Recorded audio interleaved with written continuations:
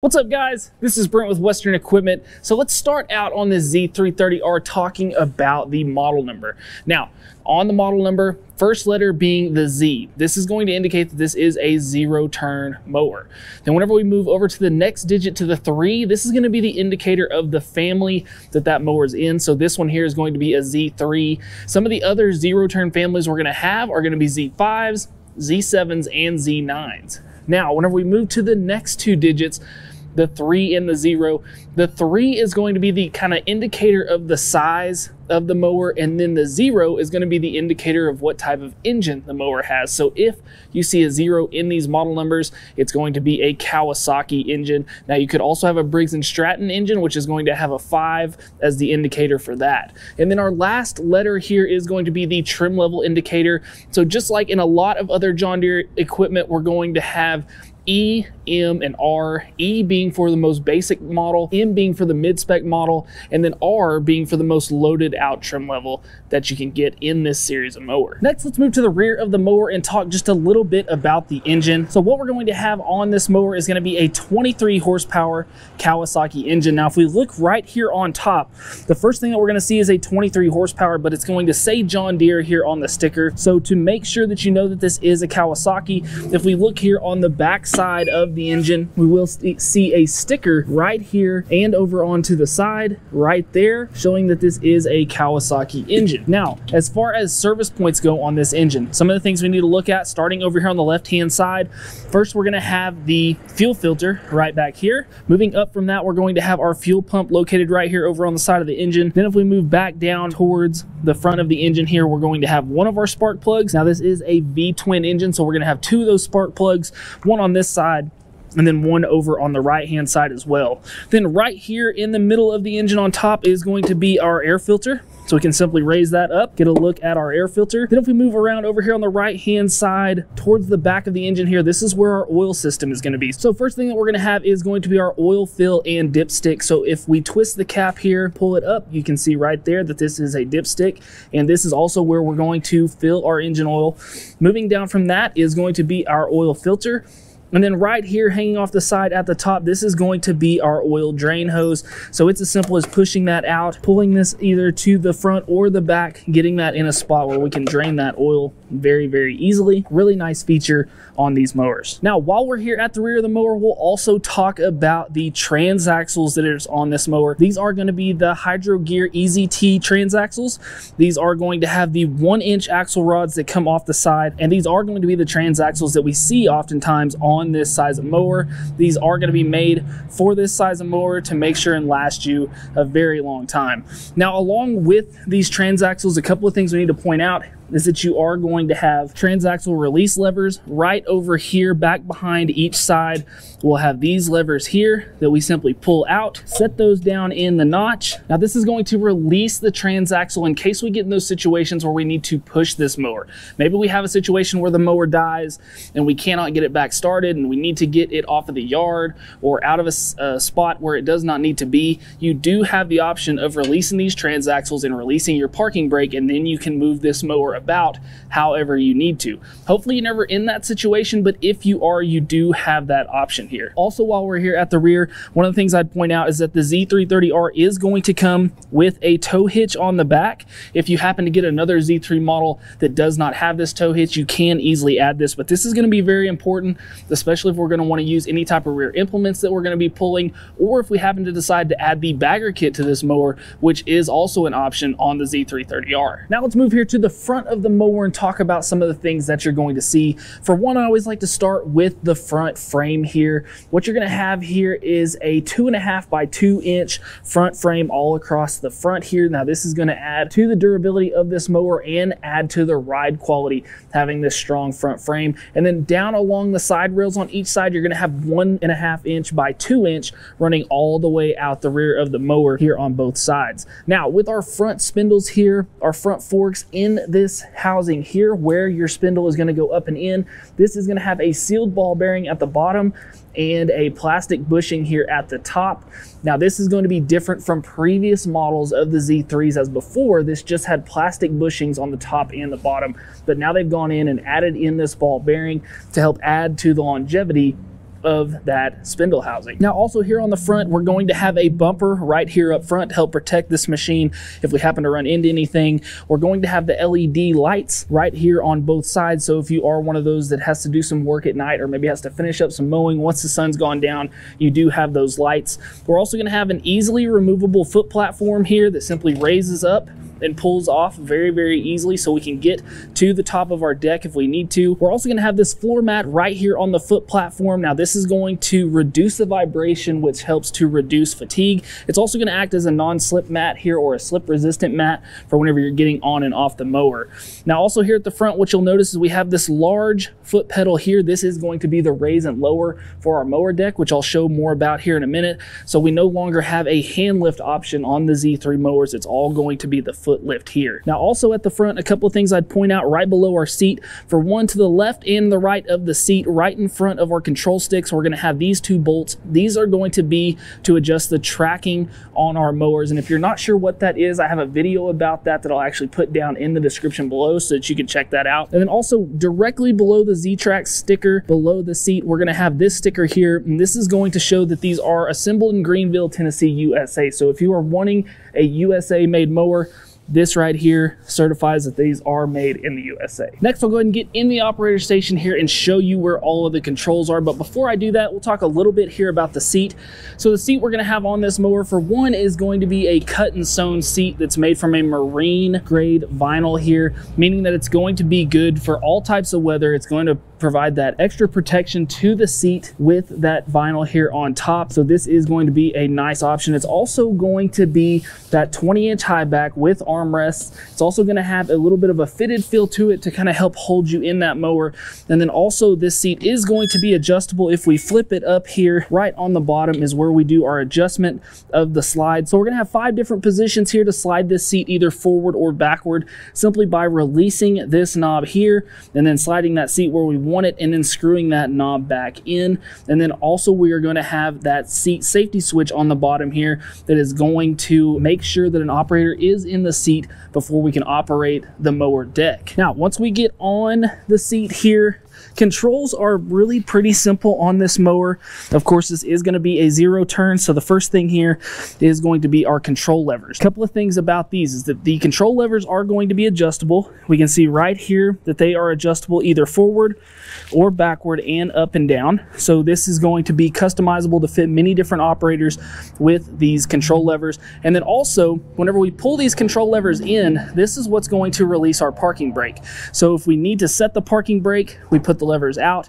To release the parking brake, we pull it in. So a lot of times we would forget sometimes to release our parking brake whenever using these mowers. And if you have done this in the past, you know that if we tried to move our mower or pull our handles in without releasing that parking brake, it would try to kill the mower. So now we've eliminated that by integrating that parking brake into the control levers themselves. So aside from the control levers, like we talked about down here at our feet, we do have our raise and lower pedal. Now what we're going to do here is push in to raise up on that mower. And then we have our dial over here to the right where we're going to select our height. Before, there was always a transport position that put this up into the highest position and locked it into place.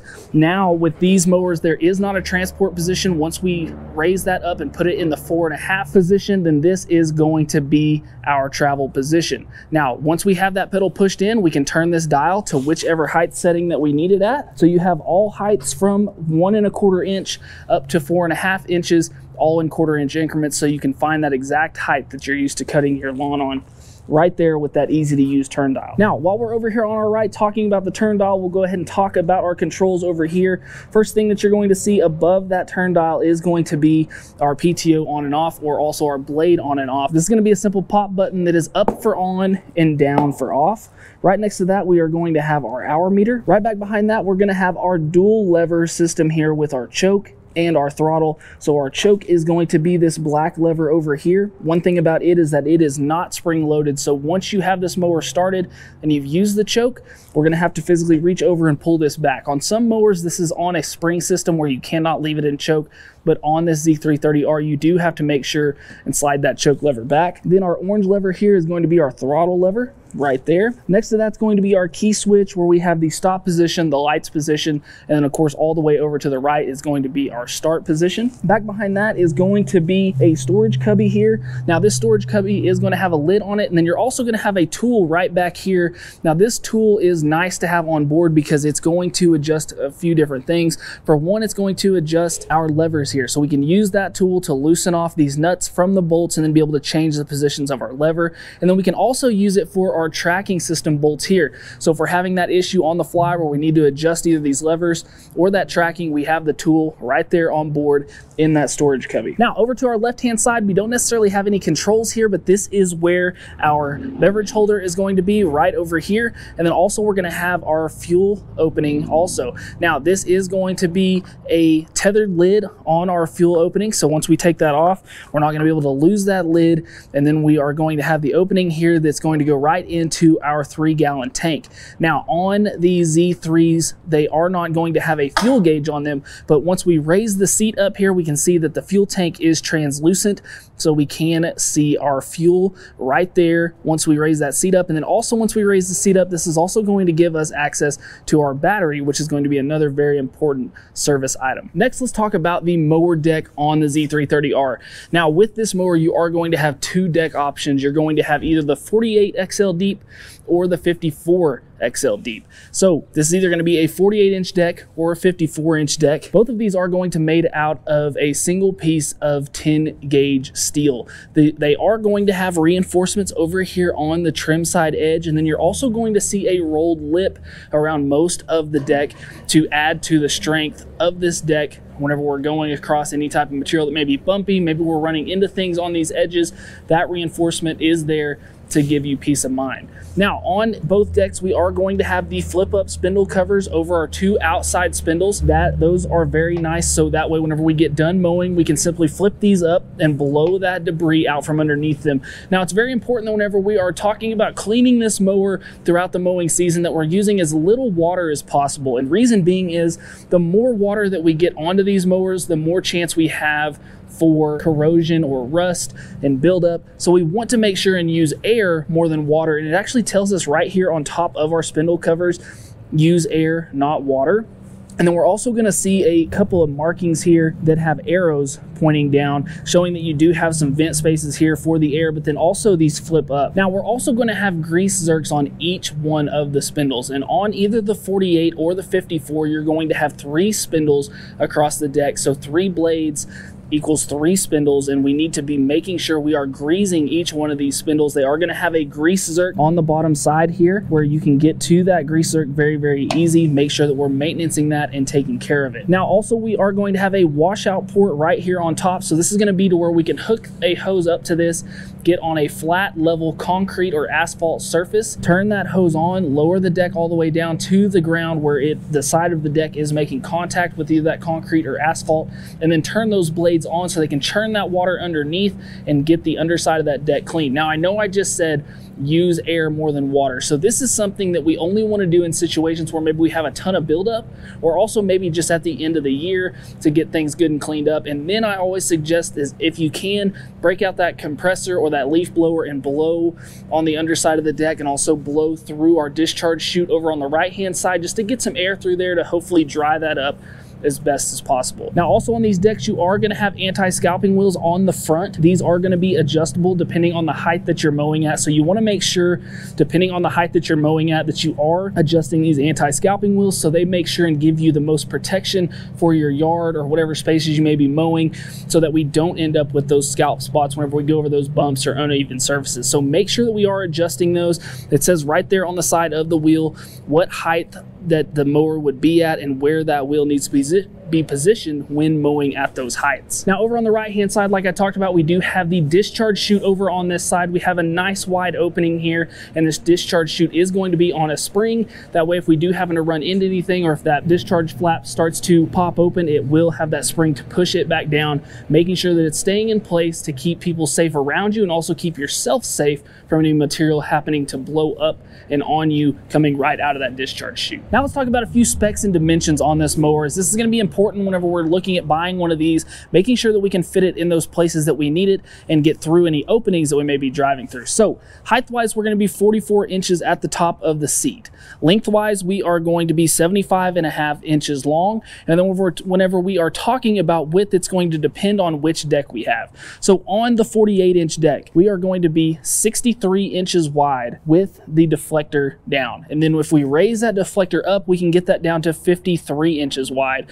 Then whenever we move to the 54 inch deck, we're going to be looking at 69 inches wide with the deflector down and then 57 whenever we raise that deflector up. Now, some of the other things that you may need to know is that the weight on these mowers with the 48 inch deck, we're looking at 611 pounds. Whenever we move up to the 54 inch deck, we're looking at 623 pounds. We're also going to have a towing capacity on these mowers of 250 pounds. So whatever implements you may be pulling here at the rear, 250 pounds is going to be your max right there. Now, some of the other specs is speed on this mower is often a big one. So whenever we're going forward, we have a top speed of seven mile an hour. Going backward, we're going to have a rear speed of three and a half mile an hour. And then like we talked about before, we are going to have that three gallon fuel tank. Now I'll go ahead and hop on the mower here so you can hear how it sounds. We'll go ahead and fire this up. So remember this is gonna be that 23 horsepower Kawasaki engine. Go ahead and put our choke on, turn the key, make sure and turn that choke off. So this is gonna be at the low idle. This is about mid throttle here. And then wide open where you would wanna mow is right here. So we can dial that back down a little bit, pull our handles in.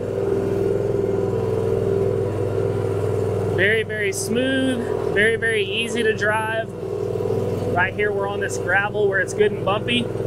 Still a really nice ride to this mower. Here's a look at the LED lights right there at the front. Now you'll notice that we have some in the front here and we also are gonna have some off to the sides here, which is gonna be nice if we're mowing in the dark that you will be able to see off to the side with that light.